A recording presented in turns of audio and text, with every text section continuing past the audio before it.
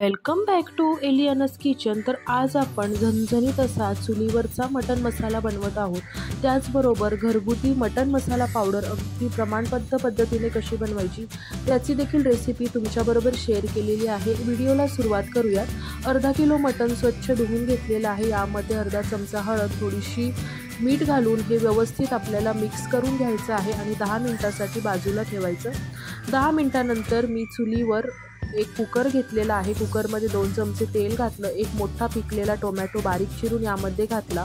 Tomato मऊसर झाला की एक चमचा आलं लसूण मिरची कोथिंबिरीची पेस्ट म्हणजेच आपलं हिरवं वाटण यामध्ये घातलेलं आहे. थोडीशी हळद पुन्हा घातली आणि मॅरिनेट केलेलं मटण यामध्ये घालून घ्यायचं. आणि मटण ह्या तेलावर एक पाच मिनटं व्यवस्थित परतून घ्यायचं आहे.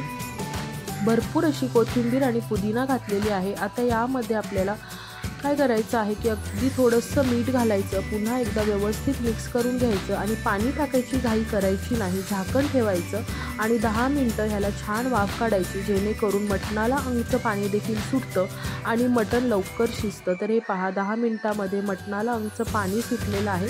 आता या पॉईंटला मी अर्धा ते पाऊण लिटर गरम पाणी घातलेलं आहे.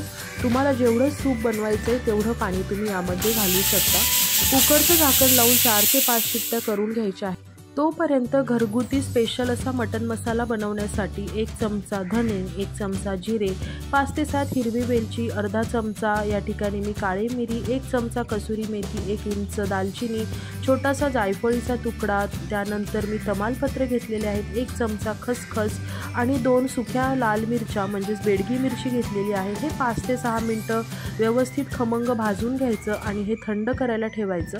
तोपर्यंत आपलं मटन सूप तयार झालेलं आहे. मटन अगदी परफेक्ट शिजलेलं आहे. तर मटणाला किती शिट्ट्या द्यायच्या हे तुमच्या मटणाच्या क्वालिटीवर अवलंबून आहे. तर माझं म जे हे मटण आहे ते चार ते पाच शिट्ट्यांमध्ये व्यवस्थित शिजलं. मी सूप वेगळं केलं मुलांना प्यायला दिलं आम्ही सर्वांनी हे सूप पिलं. नंतर थोड्या वेळाने मी पुन्हा किचनमध्ये आले आणि बाकीची तयारी करायला सुरुवात केली. तर आपण जो भाजून घेतलेले सर्व खडे मसाले होते ते मी आता मिक्सर ग्राइंडरमध्ये एकदम बारीक पावडर करून घेत आहे.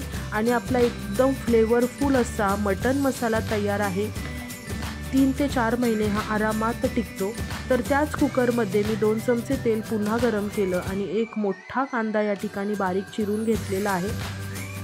तर हा मटन मसाला ना कोणत्याही कांदा खोबऱ्याच्या वाटणाशिवाय बनवत आहोत तरी पण एकदम चमचमीत बनवून तयार होतो.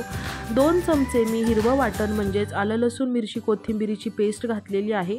ह्याचा छान कच्चेपणा जाईपर्यंत हे परतून घ्यायचं. एक चमचा घरगुती लाल तिखट त्यानंतर अर्धा चमचा काश्मीरी मिरची पावडर घालायची आहे. व्यवस्थित मिक्स करून घ्यायचं. आणि तुम्ही या मसाले छान तेल सुटेपर्यंत परतून घेतलेले आहेत. आता काय करायचं? जे आपण मटण शिजवून घेतलं होतं ते यामध्ये घालायचं. आणि हाय फ्लेमवर आता ह्याचा रस्सा आपल्याला आटवून घ्यायचा आहे. तर थोडासाच रस्सा मी यामध्ये ठेवलेला आहे. त्यानंतर एक चमचा भरून आपला घरगुती मटन मसाला यामध्ये घालायचा आहे. जबरदस्त घमघमाट घरामध्ये सुटलेला आहे. भरपूर अशी कोथिंबीर पुदिना शेवटी घालायचा आणि हाय फ्लेमवरच हे मटण आपल्याला परतत परतत परतत सर्व पाणी आठवून घ्यायचं आहे आणि तुम्ही पाहू शकता झणझणीत असा मटन मसाला तयार आहे तोही घरगुती मटन मसाला वापरून. आणि चूल तर काय भन्नाट पेटली होती तुम्ही पाहू शकता. काय चमचमीत असा मटन मसाला तयार झालेला आहे सर्व करूयात. मी याबरोबर चुलीवरच गरमागरम भाकरी देखील करून घेतल्या होत्या. गरमागरम भाकरी आणि त्याबरोबर हे झणझणीत मटन मसाला. एकदम अप्रतिम कॉम्बिनेशन आहे. या पद्धतीने करून पहा. की मी मटन मसाला पावडरीची रेसिपी तुमच्याबरोबर शेअर केली ती देखील ट्राय करा. बाजारातून विकत आणण्यापेक्षा घरगुती कधीही नक्कीच चांगला आहे. व्हिडिओ आवडला असेल तर सबस्क्राईब करा.